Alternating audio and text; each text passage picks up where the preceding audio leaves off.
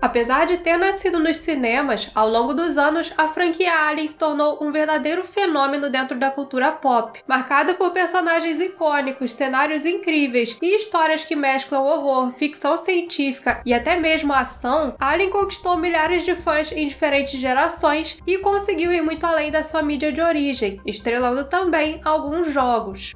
Sejam bem-vindos a mais um vídeo do canal Central Pandora. Aqui é a Sora e hoje estamos aqui para falar sobre os jogos de Alien. Hoje nós vamos relembrar toda a trajetória dessa franquia nos videogames, partindo do primeiro jogo lá do Atari até o mais recente Fireteam Elite. Lembrando que aqui no canal eu considero Alien vs Predador como uma franquia separada, então os jogos de Alien vs Predador não vão entrar aqui nesse vídeo, mas isso não impede que futuramente eu faça um vídeo com os jogos de Alien vs Predador. Se você gosta de Alien, se inscreva aqui no canal para acompanhar todas as novidades.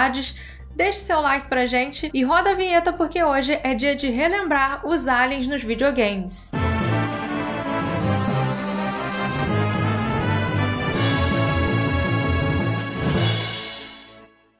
Alien, o oitavo passageiro, de 1979, foi um marco na história do cinema. No filme, que mistura horror e ficção científica, o público acompanhou o terror vivido pela tripulação da Nostromo, que fica aprisionada no espaço com um alienígena desconhecido, um ser que usa suas vítimas como hospedeiros para propagar a sua espécie. A tensão bem construída, unida a um roteiro cheio de criatividade e o trabalho de grandes artistas como Ron Cobb, H.R. Giger, Moebius, fizeram fizeram de Alien um filme extremamente marcante e um sucesso comercial desde o seu lançamento. Com isso, era natural que começassem a explorar esse sucesso em outros meios, e um deles foram os videogames. Em 1980 chegava aos arcades Pac-Man da Namco, um título que se tornaria um dos mais influentes e importantes da história dos videogames. Pac-Man é considerado o responsável pelo estabelecimento de um subgênero conhecido como Maze Chase, ou perseguição no labirinto, que convenhamos é um conceito que se encaixa bem em Alien. E certamente foi com isso em mente que surgiu a ideia do primeiro jogo da franquia. Três anos após o lançamento do filme, em 82, chegava ao Atari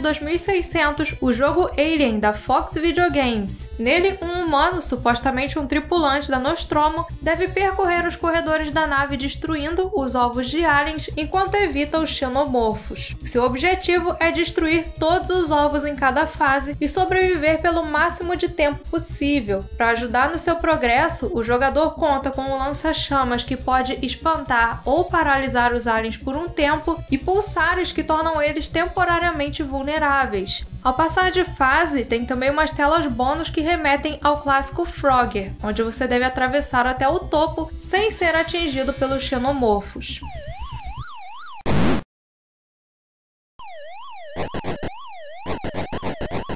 Em 1984 chegava aos computadores domésticos um jogo que já se aproximava um pouquinho mais do filme de 79. Também chamado de Alien, ele foi lançado como parte da série Mind Games da Argus Press, que tinha como proposta títulos de aventura e estratégia passados em mundos novos e exóticos, visando estimular a imaginação e o raciocínio dos jogadores. O game começa logo após o momento em que o Chessbuster emerge e o alien fica solta dentro da Nostromo. Controlando os sobreviventes, o seu objetivo é encontrar itens para proteger eles do alienígena e descobrir qual tripulante é o sintético que estará tentando ajudar a criatura. Enquanto percorre a nave, é preciso estar atento ao estado emocional de cada um deles, já que um tripulante assustado vai se sentir menos inclinado a obedecer aos seus comandos. Para vencer, o jogador pode tentar ejetar o alien para fora da nave ou ativar o sistema de autodestruição da Nostromo e tentar escapar na Narcissus. Além de salvar os tripulantes, você também pode tentar encontrar a caixa de transporte para salvar o gato Jonesy e conseguir uma melhor pontuação no final.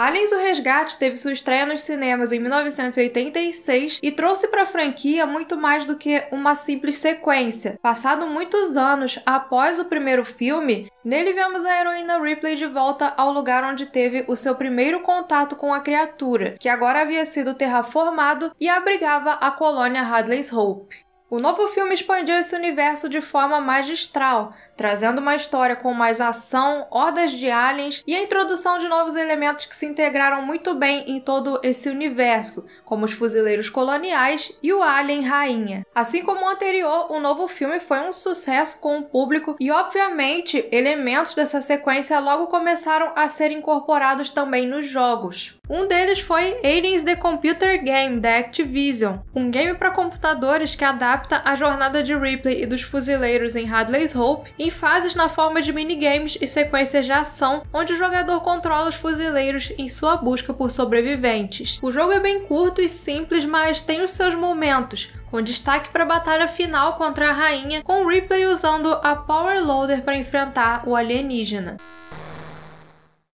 Em 1987 saiu um outro jogo com o mesmo nome, esse publicado pela Electric Dream Software. Nele o jogador vai guiando Ripley, os fuzileiros e Burke pelas salas da unidade de processamento atmosférico em uma busca pelo alien rainha. É preciso ir alternando entre os personagens de forma estratégica, analisando os ambientes através das câmeras nos capacetes dos soldados e exterminando os aliens quando necessário. Esse é um jogo bem mais complicado e que exige o uso de um mapa para você se guiar pelas 255 salas. Além disso, é necessário cautela para nenhum personagem acabar indo para o exterior da colônia, que tem uma atmosfera tóxica, e também para não matar os aliens em frente a portas. Se fizer isso, a passagem ficará bloqueada pelo sangue ácido. Ainda em 87, a Squaresoft lançou apenas no Japão o jogo que, tendo seu título traduzido para inglês, se chama Aliens Alien 2. Diferente dos anteriores, esse já é um jogo de plataforma e tiro exclusivo para o MSX, onde controlamos Ripley em uma jornada para salvar Newt em Acheron. Para isso, ela deve percorrer as fases repletas de aliens em todas as suas formas até chegar ao chefe de cada uma delas, o Alien Rainha. A personagem começa com uma shotgun básica e pode pode ir encontrando armas melhores e bombas ao destruir os ovos de aliens pelo caminho. O jogo apostou em um estilo plataforma que estava em alta na época com jogos como Metroid ou Castlevania, porém as suas fases são bem lineares, com algumas adotando um estilo labirinto, onde você deve entrar nas portas corretas para chegar até o final. Mesmo tendo bem mais simplicidade do que outros títulos de plataforma da época, ele se destaca pela parte gráfica e também pela sua trilha sonora, que foi composta por ninguém menos que Nobuo Uematsu, lendário compositor conhecido pelo seu trabalho na série Final Fantasy.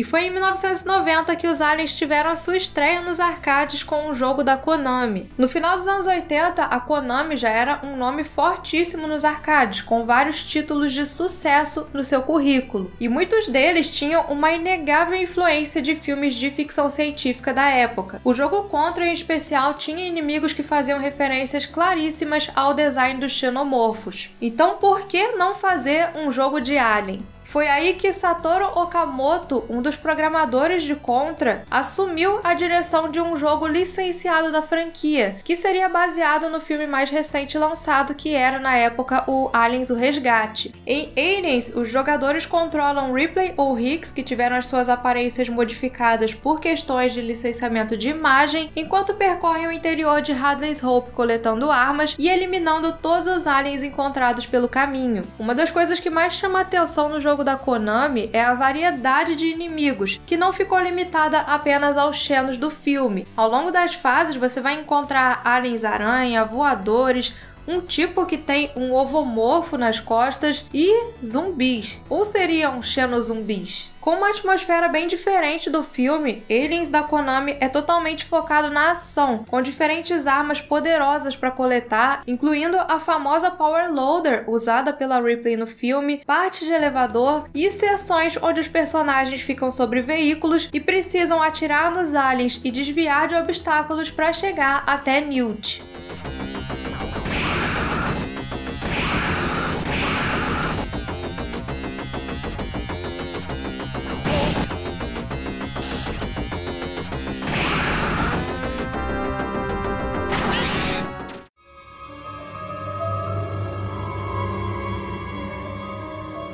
O terceiro filme de Alien, dirigido pelo David Fincher, chegou aos cinemas em 1992 e trouxe um ambiente bem diferente dos anteriores. Após os eventos de Hadley's Hope, Ripley é a única sobrevivente da queda da cápsula de fuga em Fiorina 61, planeta onde foi construída uma colônia penal habitada apenas por homens. Mas logo um alien nasce na prisão, espalhando terror entre todos enquanto a heroína descobre estar hospedando dentro de si uma dessas criaturas.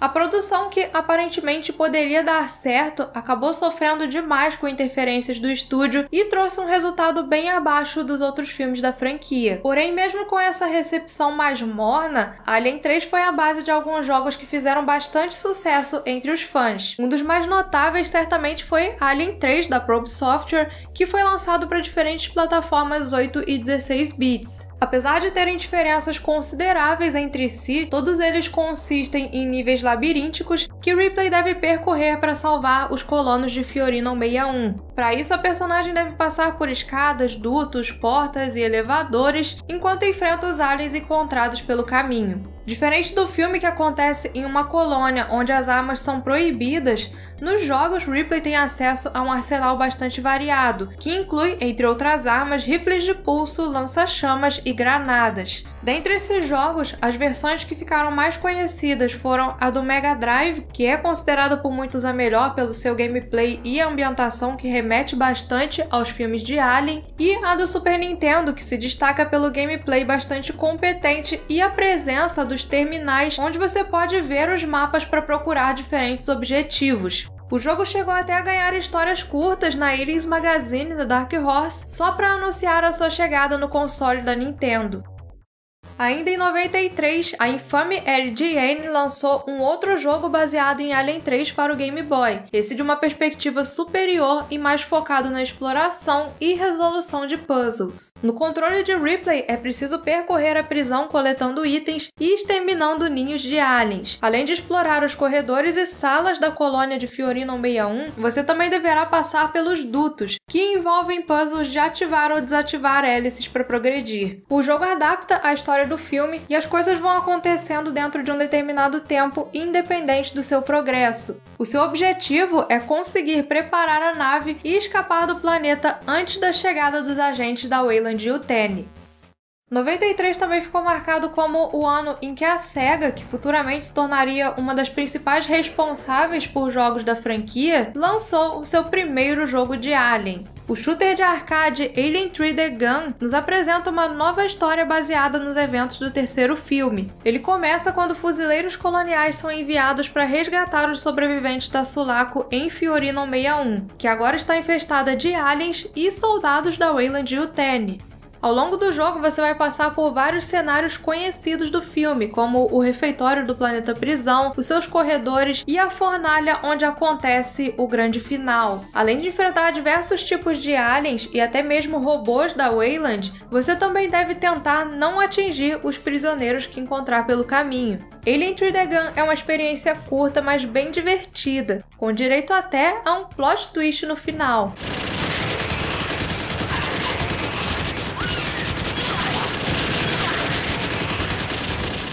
Em 1995, a franquia Alien entrou em uma fase importante nos videogames, que foi quando os jogos começaram a se desprender um pouco mais das histórias dos filmes. O primeiro jogo nessa linha foi o Aliens A Comic Book Adventure, que é uma aventura point and click baseada nos quadrinhos da Dark Horse. Nele, o ex-integrante dos fuzileiros Henry Harrison vai com seu grupo de terraformação até o posto avançado B54C após receber um pedido de ajuda, e chegando lá, ele se depara com um cenário aterrorizante. O game segue o estilo dos jogos de aventura mais antigos, com muita exploração e quebra-cabeças baseados em interações com diferentes itens, mas um dos seus diferenciais é o fato de você controlar todo o grupo, com cada integrante tendo seu próprio inventário e status de sobrevivência. Apesar de ter alguns raros momentos de combate que acontecem com visão isométrica, a maior dificuldade do jogo mesmo é o limite de tempo que é imposto em em muitas partes, obrigando o jogador a repetir algumas sessões já sabendo o que fazer para não acabar em game over. Mas o gameplay datado é algo que com certeza torna essa tarefa ainda mais complicada. Através dos diálogos você vai conhecendo mais sobre cada personagem, a relação entre eles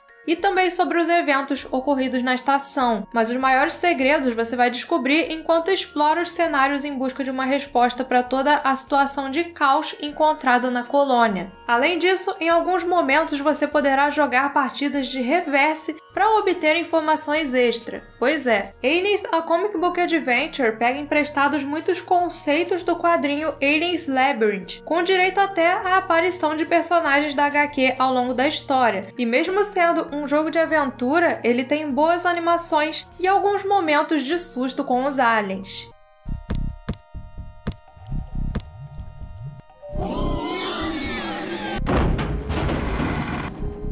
Depois, como Probe Entertainment, a desenvolvedora dos jogos de Alien 3 retornou em Alien Trilogy, um shooter em primeira pessoa que faz uma mistureba com a história dos três primeiros filmes. O game começa com a tenente Ellen Ripley e os fuzileiros indo até LV-426 verificar a situação de uma colônia, mas chegando lá, eles são atacados e apenas Ripley e Bishop sobrevivem. Então agora a heroína tem como sua missão inicial enfrentar os xenomorfos e eliminar a rainha para deixar o local seguro novamente. A história segue para rumos bem distintos dos filmes, com agentes da Wayland Yutani sendo enviados para caçar Ripley e confrontos com diferentes tipos de inimigos. Para isso, Ripley conta com um arsenal contendo uma pistola, rifle de pulso, lança-chamas e a Smart Gun, além de granadas para enfrentar grupos de inimigos e dispositivos para enxergar no escuro.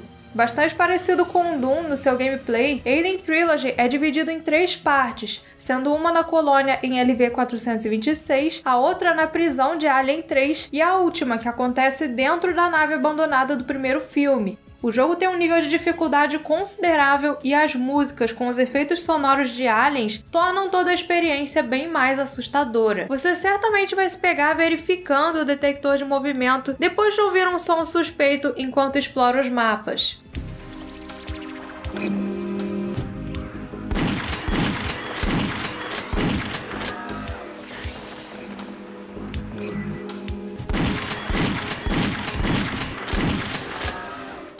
Usando uma versão modificada da engine do seu jogo Roadmaster Made Storm, a Mythic Entertainment trouxe em 1998 o jogo Aliens Online, um MMO de tiro em primeira pessoa, onde os jogadores podiam se juntar a uma de duas facções, os fuzileiros coloniais dos Estados Unidos ou os aliens. Após escolher o seu lado, os jogadores participavam de batalhas assimétricas em diferentes mapas baseados nos filmes e jogos da franquia. Inicialmente, o game só tinha um modo, um tipo de deathmatch que acabava quando todos os xenomorfos, que vinham sempre em maior quantidade, eram mortos ou quando o limite de respawn dos fuzileiros acabava. Mas com o tempo, novos modos de jogo foram sendo adicionados e Aliens Online chegou a ter uma comunidade bastante ativa, com direito a vários clãs com hierarquias entre eles e até mesmo fanfics que eram escritas exclusivamente para aumentar a imersão nos combates. Mas infelizmente o jogo teve uma vida bem curta e nunca chegou a sair do beta oficialmente. Em 2000, depois que a GameStorm foi vendida para a EA, os seus servidores foram encerrados permanentemente e os assinantes do jogo na época receberam uma cópia do Ultima Online como uma forma de compensação.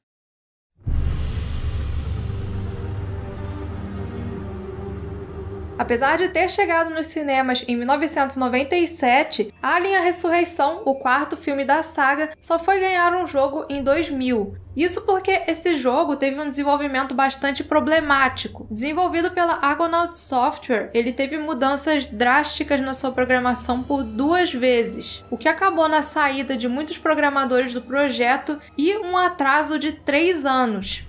Por isso, Alien Resurrection chegou tão atrasado em relação ao lançamento do filme. O jogo adapta a trama de ressurreição, com Ripley 8 despertando a bordo da Auriga bem no início da infestação. Com os aliens espalhados por toda a nave, ela deve se unir a um grupo de mercenários para tentar conter a situação enquanto descobre sobre o seu passado e os experimentos envolvendo a rainha clonada. Além de Ripley 8, ao longo do jogo você também controla os personagens Cole, Stefano e Christie, cada um com seus próprios equipamentos. Como um desses personagens, é preciso cumprir diferentes objetivos, coletar cartões de acesso e eliminar os humanos e aliens dentro da Auriga para chegar até o final. Mas o maior ponto fraco desse jogo está nos controles. O sistema de mira usando os analógicos é bastante complicado, sendo mais prático de jogar se você tiver um PlayStation Mouse. E isso, junto com a munição escassa e a mobilidade dos aliens, aumenta consideravelmente o seu nível de dificuldade. Uma coisa interessante interessante é que ao longo desse jogo, se você for impregnado por um facehugger, será preciso ter um dispositivo autodock para remover a criatura antes que tudo acabe de forma bastante sangrenta.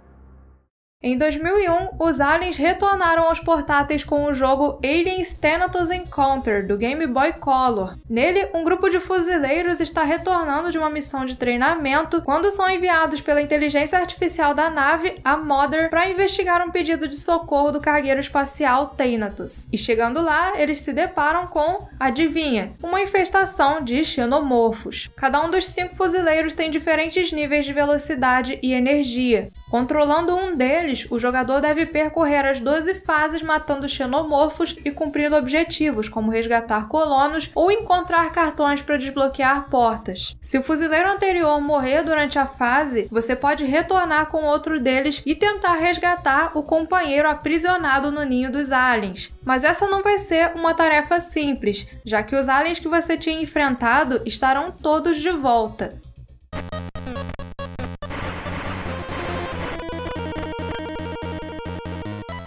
Em 2006, os aliens retornaram para os arcades, agora com o jogo Aliens Extermination. Nele, os jogadores controlam membros de um esquadrão de fuzileiros coloniais enviados até a colônia Hadley's Hope já destruída, ou que pelo menos deveria estar destruída. O seu objetivo é acabar com todos os vestígios da presença dos aliens que ainda restavam. Mas além dos aliens, você precisará lidar também com uma falha no sistema de segurança que deixa os restos da colônia ainda mais perigosos. Esse é um rail shooter que tem gráficos muito bons e bastante ação, com telas repletas de drones, facehuggers e até mesmo novas ameaças, como aliens voadores. No caminho você vai coletando munição, granada, vida, vários itens que vão te ajudar a chegar vivo no fim desse processo de exterminação. Em 2006, a SEGA adquiriu os direitos de publicação dos jogos de Alien que na época estavam com a Fox, e se iniciou aí uma nova leva de jogos da franquia. O primeiro deles foi Aliens Infestation do Nintendo DS, que foi desenvolvido pela Gearbox junto com a WayForward Technologies. Infestation seria apenas um porte de DS daquele que era o seu maior projeto na época, o Aliens Colonial Marines. Mas Colonial Marines acabou tendo muitos problemas no seu desenvolvimento desenvolvimento e por fim o Infestation saiu como um jogo independente e o resultado agradou bastante. Em Aliens Infestation, acompanhamos a história de um grupo de fuzileiros coloniais em uma investigação sobre o que aconteceu com a Sulaco. Seis semanas após a sua missão em LV-426, eles encontram a nave com um sobrevivente a bordo, mas ao tentar contato via rádio, eles não conseguem resposta. Então, um time é enviado para descobrir quem é esse sobrevivente misterioso e o que aconteceu com o Tenente Gorman e os seus companheiros. Nesse jogo você tem à sua disposição um time de quatro fuzileiros e deve ir explorando os diferentes mapas para progredir na história. Ao longo do caminho você vai enfrentar aliens, soldados, robôs e até mesmo alguns chefes bem desafiadores. Seguindo o estilo Metroidvania, ele tem um grande foco na exploração, com áreas que exigem itens ou upgrades para serem acessadas, como cartões de acesso, uma lanterna para você iluminar áreas escuras ou um soldador para abrir portas. Quando as coisas ficarem difíceis, você pode ir até as salas de save, onde é possível recuperar a sua vida, munição ou trocar de personagem e armas. E a troca de personagens é um elemento que pode fazer diferença. Se você perder um dos seus fuzileiros, a morte forte e permanente. Então, quando isso acontecer, vai ser necessário percorrer o mapa buscando outros recrutas para ter um time completo novamente. Mas cada um deles tem uma personalidade e diálogos próprios, e você provavelmente vai querer manter os seus favoritos até o fim. Aliens Infestation tem uma história muito boa, que se aprofunda bem no universo de Alien e inclui elementos do universo expandido, como a rivalidade entre a Wayland Yutani e a UPP. Esse jogo definitivamente é uma baita recomendação para quem gosta dos fuzileiros coloniais.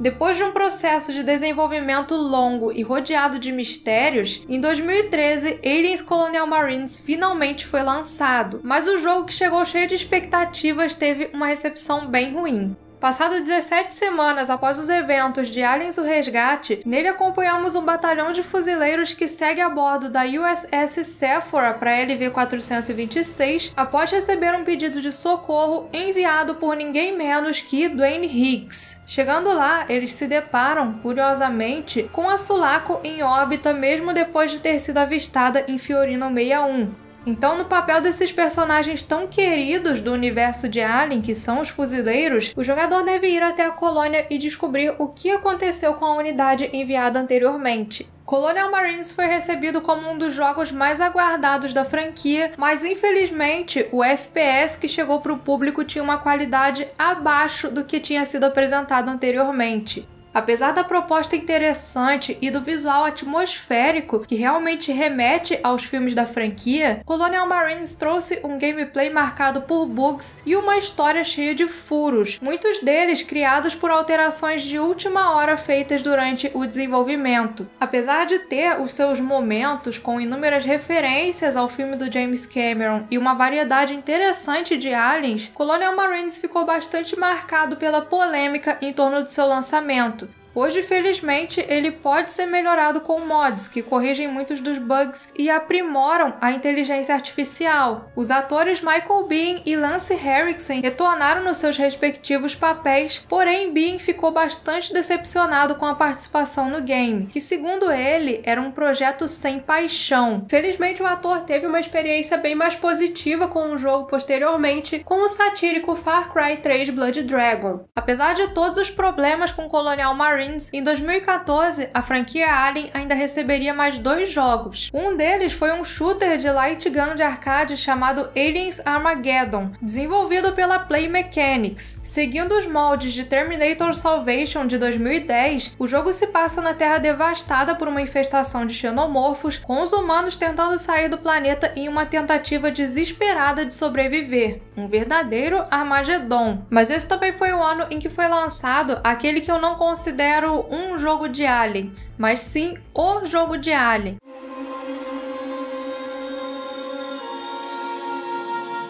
Alien Isolation foi um jogo que conseguiu expandir a história da franquia de forma um tanto interessante. Nele acompanhamos a saga de Amanda Ripley, a filha de Ellen Ripley, que estava em busca de respostas sobre o desaparecimento da sua mãe. Quando uma unidade de registro de voo da Nostromo é levada até Sevastopol, Amanda vai até a estação, mas o que ela não esperava é que encontraria o local quase deserto e um clima de pânico total após um alienígena à solta na estação ter instaurado o caos. Isolation é um survival horror com elementos de stealth que reproduz de forma incrível a ambientação do primeiro filme da franquia. Até mesmo o design dos ambientes foi feito levando em consideração o filme de 79, com tecnologias baseadas em monitores CRT, displays monocromáticos e muitos outros elementos que remetem ao clássico de Ridley Scott. Ao longo da sua jornada, Ripley pode criar diferentes itens, hackear painéis desbloquear portas e até mesmo usaram lança-chamas para tentar encarar o xenomorfo, mesmo que nem sempre essa estratégia seja efetiva. E a experiência de Isolation consegue ser tão tensa quanto os filmes de Alien. Durante o tempo todo, você vai estar tentando fazer o mínimo de barulho possível para não atrair o alienígena, mas nessa estação, até mesmo os humanos e sintéticos poderão ser uma ameaça. A Isolation traz todo o terror que um jogo de Alien merece, unido a uma história à altura das que tornaram essa franquia tão querida. Tanto que Amanda se tornou uma das personagens favoritas entre os fãs que até hoje pedem por uma sequência.